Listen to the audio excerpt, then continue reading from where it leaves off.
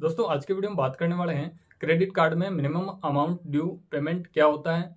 क्या इस पेमेंट को करना चाहिए या फिर नहीं करना चाहिए?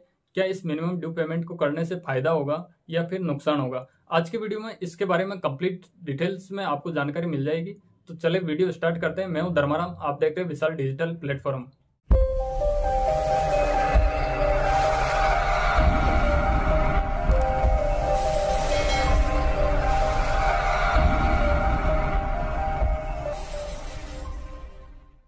तो फ्रेंड्स जानते हैं ये मिनिमम अमाउंट ड्यू पेमेंट क्या होता है?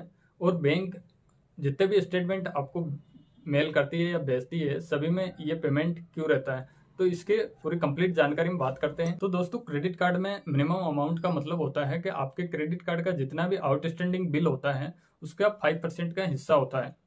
यानी कि आपके क्रेडिट कार्ड का जो आउटस्टैंडिंग बैलेंस है, वो टेन थाउज़ेंड का है। तो उसका फाइव परसेंट का मतलब है कि आपका पाँच सौ रुपये यानी कि आपका जो मिनिमम अमाउंट आएगा, वो पाँच सौ रुपये का आएगा। तो इसको पे आप कर सकते हैं। वैसे इसको पे करने से आपको ये हो जाता है कि जो बाकी जो अमाउंट है, उस पर आपको चार्जेस नहीं लगेगा। यानी कि आपका जो बाकी टेन थाउज़ेंड जो आपका आउटस्टैंडिंग बिल था, उस पर आपको इंटरेस्ट लगेगा। तो इसका मतलब ये होता है कि आपको फाइव परसेंट पेमेंट करने से आपका एक महीने का आपको टाइम पीरियड मिल जाता है जिसपे आपको सिर्फ़ इंटरेस्ट ही देना होता है। तो फ्रेंड्स बात करते हैं कि आखिर बैंक आपको मिनिमम ड्यू पेमेंट का जो बैलेंस है वो आपको देता क्यों है? तो फ्रेंड्स जैसे कि बैंक को भी पता है किसी महीने में किसी कारण से अगर सामने वाले बंदे के पास मान लो पेमेंट नहीं है तो ऐसे में वो क्या कर सकता है? यानी कि पेमेंट नहीं करेगा तो वो डिफ़ॉल्ट हो जाएगा। तो इसलिए आ, आपको एक मिनिमम अमाउंट का पेमेंट दिया जाता है कि इसको पे कर देते हैं आप तो आपका जो अमाउंट है, उसको आप अगले महीने के लिए पेमेंट कर सकते हैं।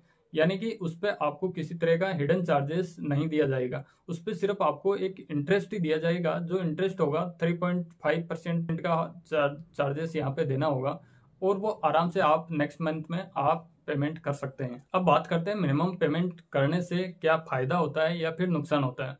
तो फ्रेंड्स फ़ायदा की बात की जाए तो फ़ायदा आपको ये होता है कि मिनिमम अमाउंट पे करने से आपका एक तो सिविल स्कोर है वो खराब नहीं होगा, यानी कि उस पर किसी तरह का कोई इफ़ेक्ट नहीं पड़ेगा। और आपको जो पेमेंट करने का जो चार्जेस है, यानी कि जो आप लेट पेमेंट कर रहे हैं, उस पर आपको हिडन चार्जेस से आप बच सकते हैं। यानी कि ये आपको दो फ़ायदे यहाँ पे मिल जाते हैं। नुकसान की अगर बात करी जाए तो नुकसान आपको ये होता है कि क्रेडिट कार्ड पे आपको जो भी ऑफर्स वगैरह मिलते हैं, वो बैंक देना बंद कर देती है। जो भी ऑफर्स जैसे क्रेडिट कार्ड अपग्रेड के ऊपर या फिर लिमिट इंक्रीज के ऊपर या फिर बाकी किसी तरह के लोन वगैरह के ऑफ़र हैं तो वो आपके कार्ड पे नहीं दिए जाएँगे। तो नुकसान इसमें ये हो सकता है तो इस चीज़ का भी आपको अपने हिसाब से मैनेज के हिसाब से आपको रखना है।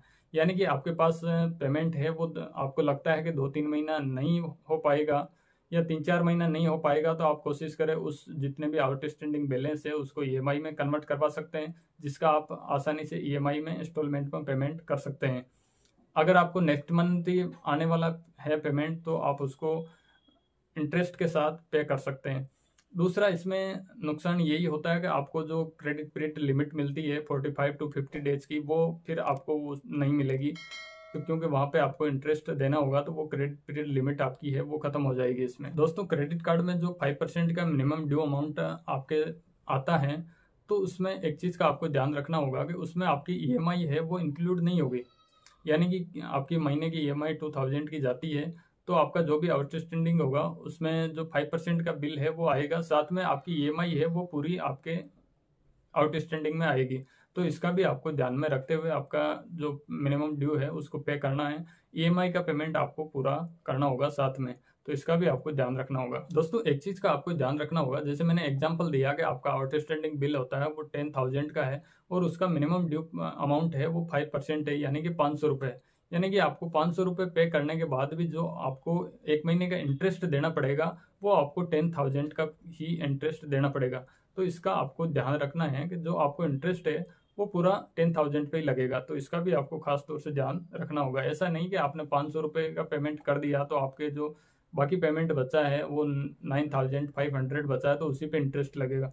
ऐसा नहीं है। इंटरेस्ट आपको टेन थाउज़ेंड का ही उस पर लगेगा। तो दोस्तों, यही थी जानकारी क्रेडिट कार्ड के मिनिमम अमाउंट पे की जानकारी। वीडियो आपको पसंद लगी तो इस वीडियो को ज़रूर से लाइक करें। चैनल पे पहली बार आए हैं तो इस चैनल को ज़रूर से सब्सक्राइब करें। और हमारी फाइनेंस से रिलेटेड नई नई जानकारी के लिए भी आप चैनल को सब्सक्राइब करके रख सकते हैं। आज के लिए बस इतना ही। मिलते हैं नेक्स्ट वीडियो में। तब तक के लिए जय हिंद।